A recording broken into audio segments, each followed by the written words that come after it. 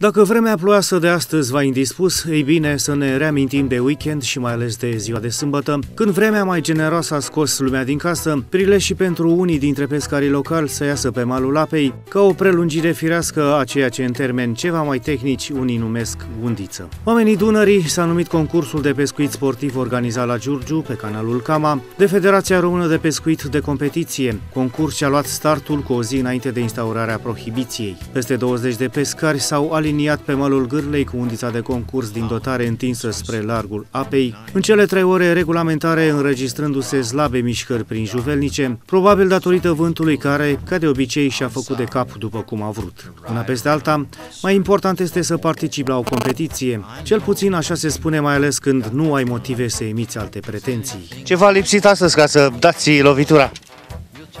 Timp. Mai târziu. Uh, concursul a durat trei ore, înțelegem că dumneavoastră ați venit puțin mai târziu. Cât a stat efectiv cu undița pe apă?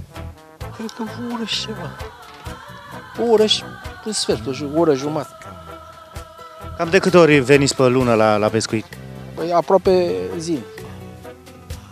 Concurez de, de la vârsta de 13 ani, dar când aici vin așa pentru distracție. Acum de mâine nu mai venim că s-a întrerupt pescuitul pe toată zona. Există un, uh, o rețetă a succesului Da. la pește? Da. Care ar fi? Tot. Și perseverență și cunoștință. Nu e, norocul nu există în, în pescuit. Știință. Trebuie să studiezi, să ai și posibilități materiale. Sunt multe.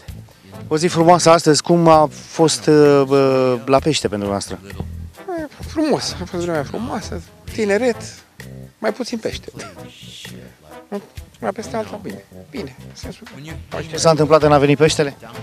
Bă, nu știu, vânt, cine știe, chiar nu se știe. Nu se știe, da, probabil că n-a fost condițiile respective. O schimbare de, schimbare de climă, schimbare de atmosferă, temperatură, cine știe, mă rog, sper. At- Atmosfera de concurs, cum vi s-a părut? Frumoasă, frumoasă, nu știu, adică nu la, făcută mai în pripă un pic, dar a mers. Bine.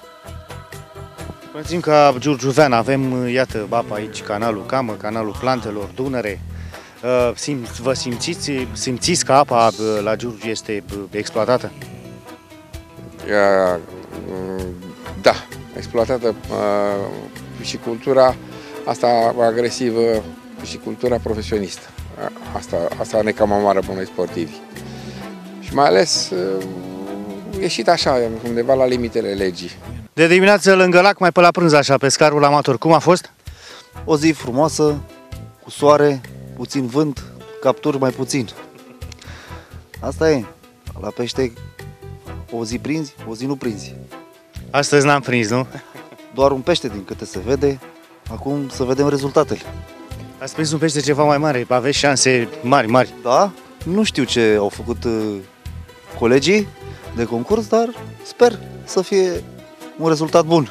Multă, per, multă perseverență din partea noastră. da, da.